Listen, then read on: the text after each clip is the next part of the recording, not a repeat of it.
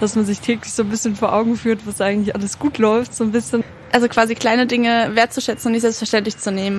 Gott, oh Gott, Dankbarkeit. Ich glaube, direkt macht man das, also mache ich das zumindest viel zu wenig. Ich habe zum letzten Mal von meinem Chef gestern ein Danke bekommen. Das ist auch ein Motivationsfaktor, wenn einem Dankbarkeit entgegengebracht wird, natürlich. Hallo bei Positiv Führen, dem Podcast von und mit Christian Thiele. Mehr Leistung, Glück, Erfolgserlebnisse und Sinnhaftigkeit im Job. Ich helfe euch auf dem Weg dorthin mit System. Als Coach, Teamentwickler, Trainer unterstütze ich Chefinnen, Projektleiterinnen, Führungskräfte mit und ohne Titel und alle, die irgendwie Verantwortung haben, auch wenn euch mal gar nicht positiv zumute ist. Und darum geht es auch in diesem Podcast. Danke euch schon jetzt fürs Zuhören. Und um das Thema Dankbarkeit als Führungskraft, dankbar sein, Dankbarkeit zeigen, geht's auch in dieser Folge. Was heißt es überhaupt? Dankbarkeit als Führungskraft. Wozu Dankbarkeit zeigen als Chefin, als Chef? Und wie geht es überhaupt? Dankbarkeit ist im Prinzip ein wichtiges äh, Schmiermittel, was die Gesellschaft, was Familien, was Kollegen zusammenhält. Und äh, ohne Dankbarkeit können wir nicht mitfühlen bzw. unser Mitgefühl ausdrücken. Was ist überhaupt mit Dankbarkeit gemeint? Wir haben mal wieder Menschen auf der Straße zu diesem Thema befragt. Vielen Dank an dich, Verena von Ikone, für die Interviews. Ja, Dankbarkeit als Schmiermittel, sagt Stefan. Großartig. Er hat damit sehr recht. Dankbarkeit ist nämlich ein sehr prosoziales Gefühl sozusagen. Es bringt uns in Verbindung mit anderen. Es stärkt unsere Verbindungen mit anderen. Und hören wir doch mal, was Ina dazu sagt. Sie arbeitet für ein mittelständisches Unternehmen in der Geschäftsleitung und sie sagt dazu, dass man sich täglich so ein bisschen vor Augen führt, was eigentlich alles gut läuft, so ein bisschen und dafür dann im Prinzip so ein Gefühl entwickelt, so eine Wahrnehmung, aha, ja, da gibt's eine ganze Menge, wofür ich dankbar sein kann. Sich täglich vor Augen führen, was gut läuft. Ina bringt auf den Punkt, was Dankbarkeit bedeutet. Robert Emmons ist so der führende Forscher auf dem Feld der Dankbarkeit und für ihn heißt Dankbarkeit vor allem zwei Dinge. Nämlich erstens das Gute sehen und anerkennen, also der Fokus auf das Positive. Übrigens nicht auf das Perfekte, aber eben auf das Gute, auf das Gelingende. Und zweitens anerkennen, dass diese Quelle des Guten, die Quelle des Positiven häufig außerhalb von uns selber liegt. Dass uns die Chefin, der Mitarbeiter, die Kollegin, unser Partner etwas Gutes getan haben. Und Dankbarkeit ist einerseits eine Stärke, ein Charakterzug, aber sie ist auch eine Emotion. Und sie ist auch eine Technik und die lässt sich üben, die lässt sich trainieren, die lässt sich verbessern. Und wie das geht, das erfahrt ihr im weiteren Verlauf dieser Folge. Was nützt Dankbarkeit Führenden und Geführten? Dankbarkeit ist so eine Art mentales Allzwecktool, eine Art Superpower, die ganz viele Dimensionen des Lebens verbessern kann. Sie stärkt die geistige und die seelische Gesundheit, aber auch die körperliche Gesundheit. Die Dopaminausschüttung im Gehirn wird gestärkt und man kann nachweisen, dass die graue Masse sogar in Gehirnregionen ansteigt, die dafür zuständig sind, die Intentionen anderer zu erkennen, wenn wir Dankbarkeit üben. Und es gibt auch Studien, die das wirklich nachweisen können. So hat man zum Beispiel in Krankenhäusern eine Untersuchung gemacht, indem man die Leute zweimal die Woche hat aufschreiben lassen, wofür sie denn dankbar sind. Und hat dann gemessen, welchen Einfluss hat es auf ihr Stresserleben, auf ihre Neigung zu Depressionen und hat festgestellt, Menschen, die eben diese Dankbarkeitsübung gemacht haben, neigen deutlich weniger zu starken Stresserleben und zu depressiven Symptomatiken. Wenn es um so Dinge geht wie Wut oder Aggression, dann erklären wir uns das ja häufig so mit unserer evolutionären Vorgeschichte. Aber auch unsere positiven Qualitäten, wie etwa Empathie oder Dankbarkeit, ja, die gehören halt auch zu unserer evolutionären Hardware, sozusagen zu unserer Grundausstattung. Georg Simmel, der Soziologe, der hat mal geschrieben, Dankbarkeit ist das moralische Gedächtnis der Menschen, eine Brücke zwischen den Menschen. Alles, was ich hier so nenne an Quellen, an Studien, Buchtipps, findet ihr wie immer hier in den Show Notes zu dieser Folge oder auf meiner Website positiv-führen.com. Was habe ich davon, wenn ich dankbarer bin? Menschen, die Dankbarkeit empfinden, haben nachweislich mehr Willenskraft, um ihre Ziele zu verfolgen. Bob Emmons, den ich ja schon erwähnt habe, hat in einer Studie zwei Gruppen gebildet und die haben sich bestimmte Ziele vorgenommen. Persönliche Ziele, berufliche Ziele, was auch immer. Und in einer dieser Gruppen wurde ein sogenanntes Dankbarkeitstagebuch geführt, wo die Leute immer wieder aufgeschrieben haben, wofür sie dankbar sind. Und dann hat man nach zehn Wochen geschaut, welche dieser beiden Gruppen hat denn mehr oder weniger Fortschritt gemacht im Hinblick auf ihre Ziele. Und tatsächlich hat diese Gruppe, die das Dankbarkeitstagebuch immer wieder geführt hat, 20 Prozent mehr Fortschritt im Hinblick auf ihre Ziele gemacht. Also zum Beispiel abnehmen, weniger Alkohol trinken, weniger rauchen, äh, mehr Frischluft und so weiter und so fort. Wir wissen, dass Dankbarkeit sehr, sehr stark mit der Lebenszufriedenheit korreliert. Und die von euch, die Kinder haben und Kinder erziehen, aufgepasst. Wir wissen, dass Kinder, die im Alter von zehn Jahren dankbarer sind als ihre Altersgenossen, im Alter von 14 mehr Freiwilligenarbeit und andere sogenannte prosoziale Aktivitäten leisten.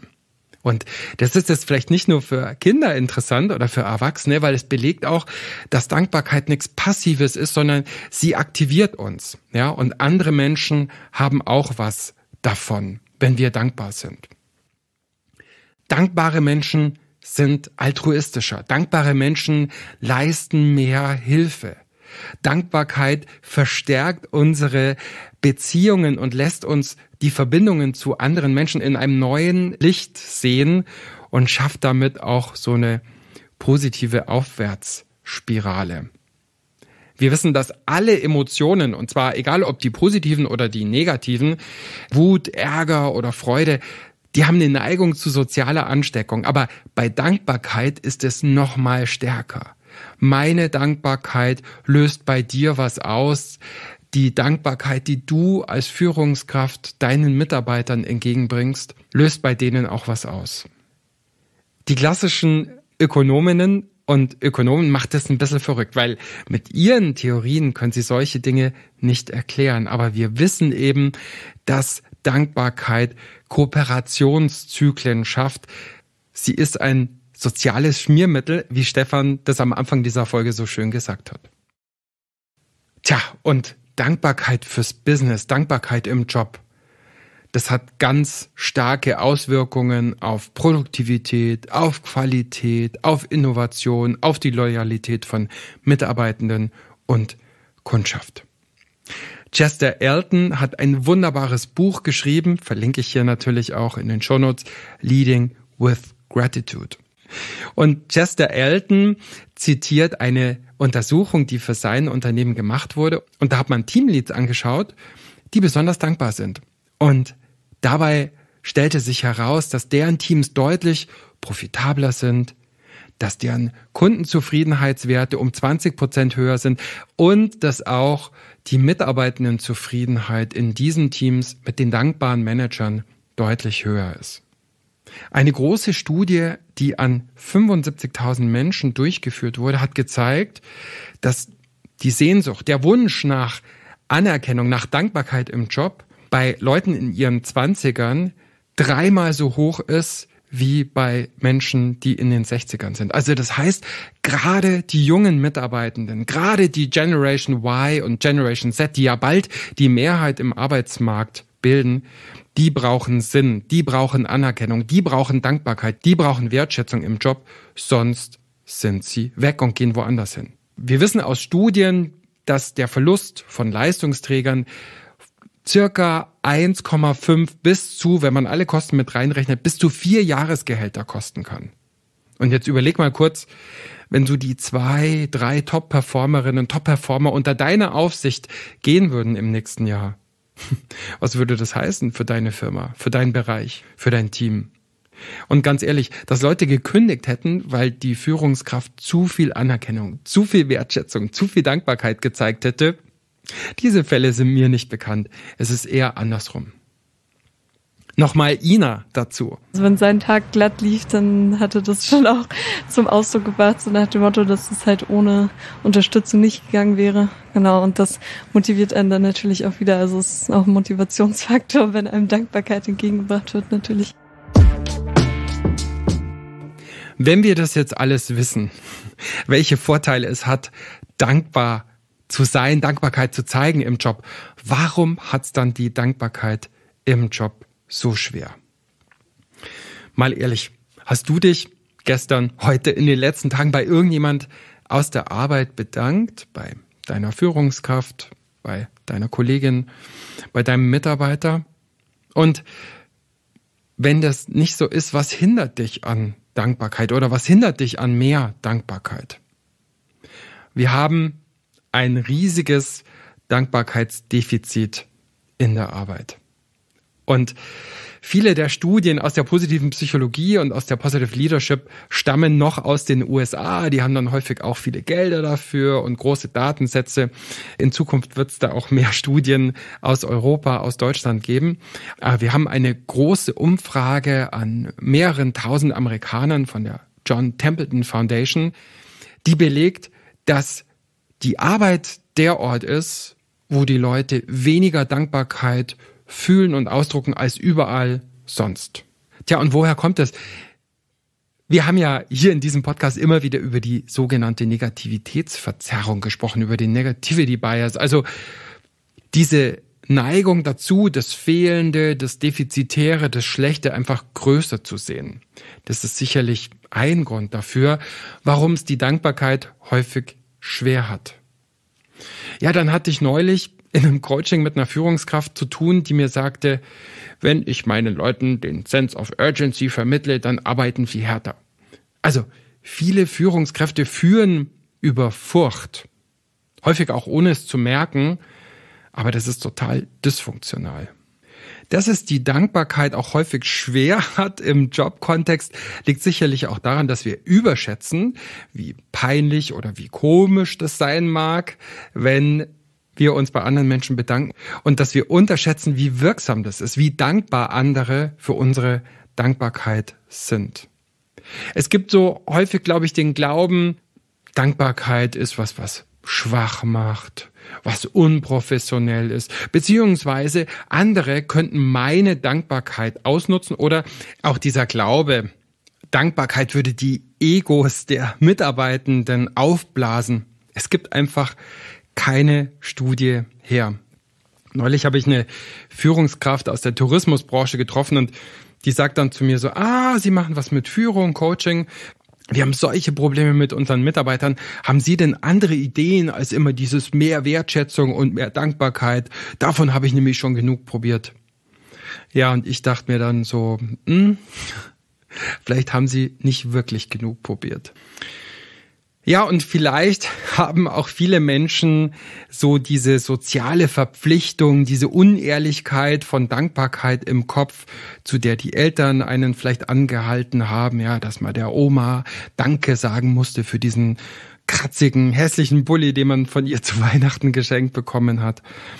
Aber darum geht's ja gar nicht bei Dankbarkeit oder bei echter Dankbarkeit, weil wenn Dankbarkeit nicht ehrlich ist, nicht authentisch ist, dann hat sie gar keinen Sinn, dann macht sie gar keinen Sinn, dann ist sie eher dysfunktional.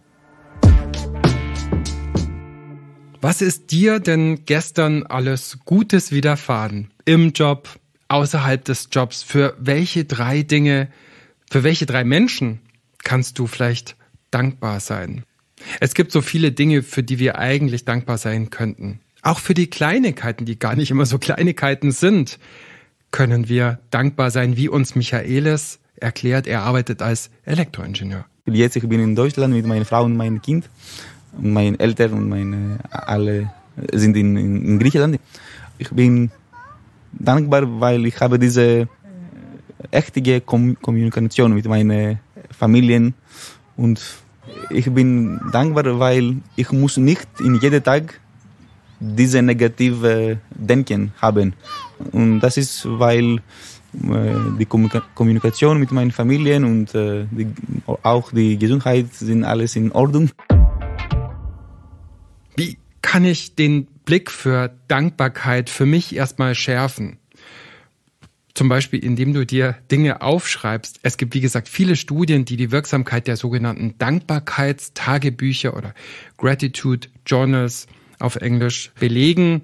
Viel hilft da gar nicht unbedingt immer viel. Optimal ist es nach meinen Erkenntnissen, wenn die Leute zwei bis dreimal die Woche sowas machen. Und wenn es jeden Tag irgendwie ist, dann kann es sehr schnell zu so einer Art Dankbarkeitsstress werden.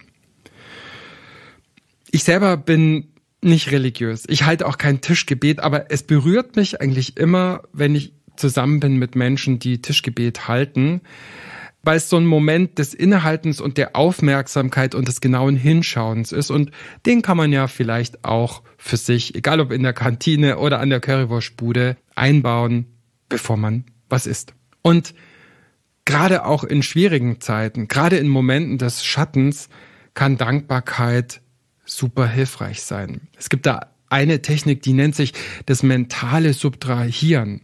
Also wenn du zum Beispiel an eine wichtige Person in deinem Leben denkst, die Partnerin, ein guter Freund, Kollegin, was wäre, wenn ihr euch nicht kennengelernt hättet?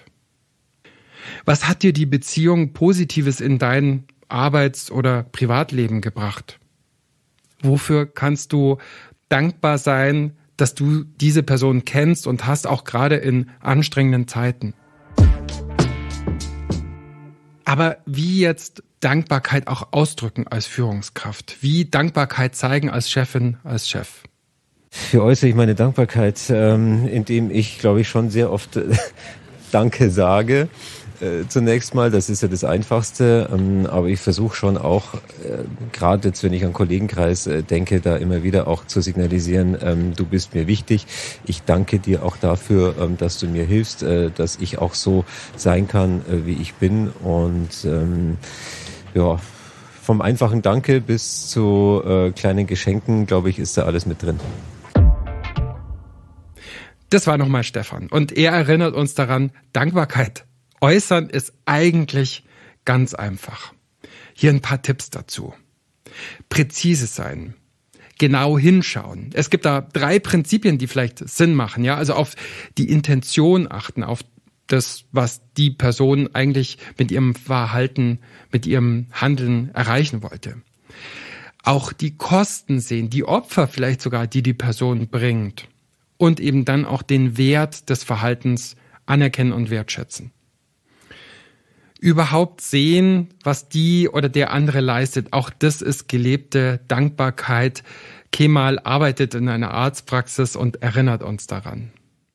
Im beruflichen Umfeld bedeutet Dankbarkeit für mich, dass man sich gegenseitig Arbeit abnimmt, wenn man sieht, dass der andere gerade keine Zeit hat, seine Sache gerade durchzuführen, weil er mit was anderem beschäftigt ist und ihm ein bisschen unter die Arme zu helfen. Ich werde häufig gefragt, also heißt Positive Leadership eigentlich nur wertschätzen und nur loben und keine Kritik? Nein, überhaupt nicht. Aber es gibt so eine Faustregel, die auch wissenschaftlich belegt ist, dass so ein Verhältnis von fünf zu eins, also fünf Teile Anerkennung, Dank, Lob, Wertschätzung versus ein Teil Kritik ganz sinnvoll sein könnte. Könnt ihr euch ja mal überlegen. Dankbarkeit muss von ganz oben kommen. Dankbarkeit muss von der Spitze vorgelebt werden. Erst dann wird es zu einer Norm. Das Mitarbeitergespräch wäre eine gute Gelegenheit, um der Person, mit der ihr zu tun habt, einfach auch Danke zu sagen und Anerkennung auszusprechen. Wenn jemand geht, wenn jemand die Organisation verlässt, ein großes, ehrliches, herzliches Dankeschön überbringen. Häufig erfahren ja die Menschen am meisten Dankbarkeit, die auf der Galerie arbeiten und die sogenannten Unsung Heroes, bei denen bedankt man sich häufig viel zu wenig. Was ich von manchen Unternehmen höre, ist, die sogenannte Corporate Safari und die kann da total helfen. Als Chefärztin, als Chefarzt auch mal einen Tag in der Kantine mitarbeiten oder Bettpfannen wechseln. Als Hotelchefin, als Hotelchef auch mal Kartoffeln schälen in der Küche.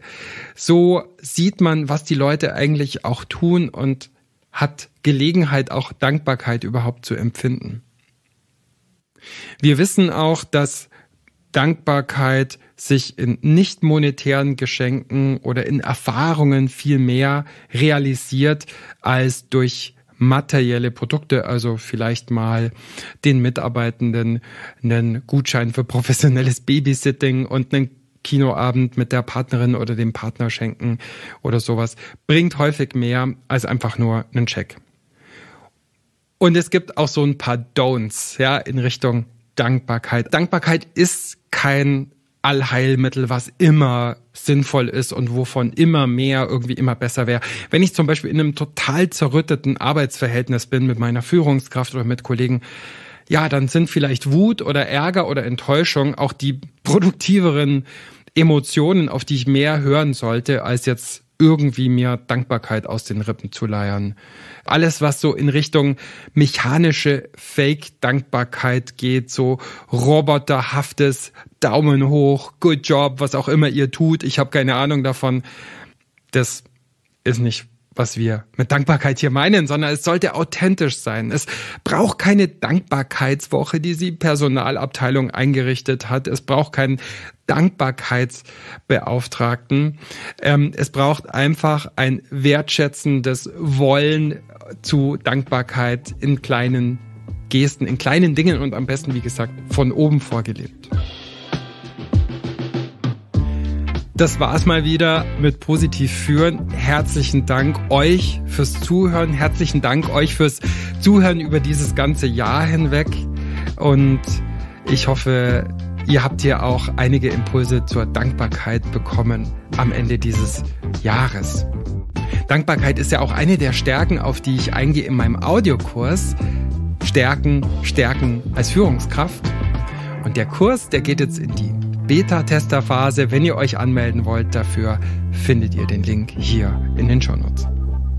Danke dir, Verena. Danke, Niklas. Und vor allem auch danke dir, Marion, für die Produktion hier dieser Folge. Und ein großes Dankeschön auch an alle, von denen ich so viel über Dankbarkeit lernen durfte. Dafür bin ich sehr dankbar. Alles Gute euch in der Arbeit und im Leben. Bis bald. Ciao. Servus. Bye bye.